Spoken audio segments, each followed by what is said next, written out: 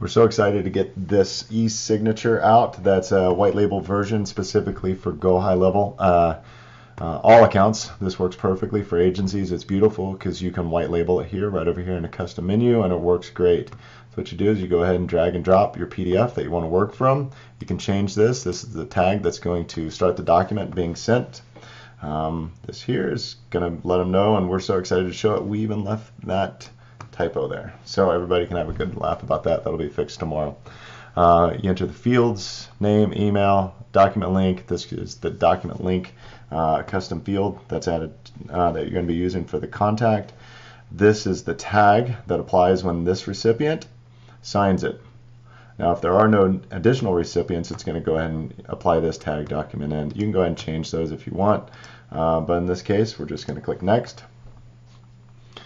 Here is where you're going to go ahead and you're going to add the standard fields uh, for where it is you want.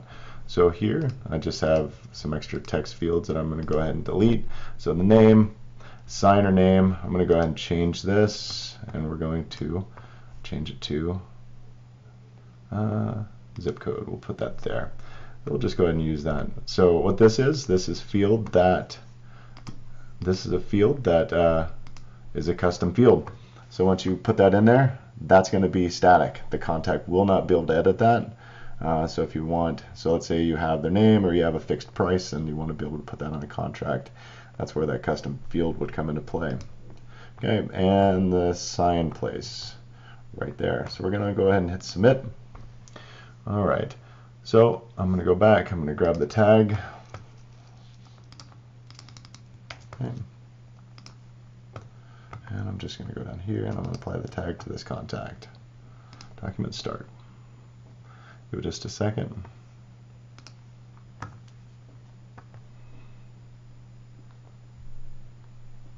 Alright, so now what we have is the document link. This would be the field that you drop into a workflow.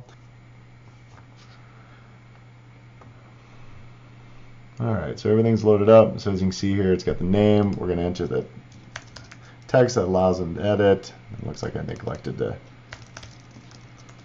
delete that field up there, but let's go and sign it.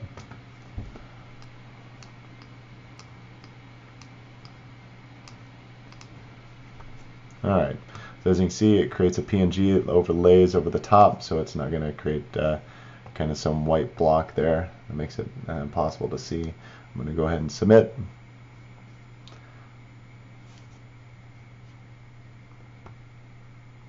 There we go.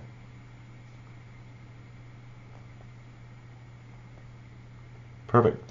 So as you can see here, loads the fields, looks great. And let's go back, let's check the contact. We're going to go ahead, refresh the fields, or refresh the page here. We're going to go back, make sure that she's got all the tags, document signed, document end. And then when we go back, we're going to take a look at this URL, check DocuSign, and you should have a signed contract. Hope, but hopefully everybody enjoys the tool. Thanks for checking it out.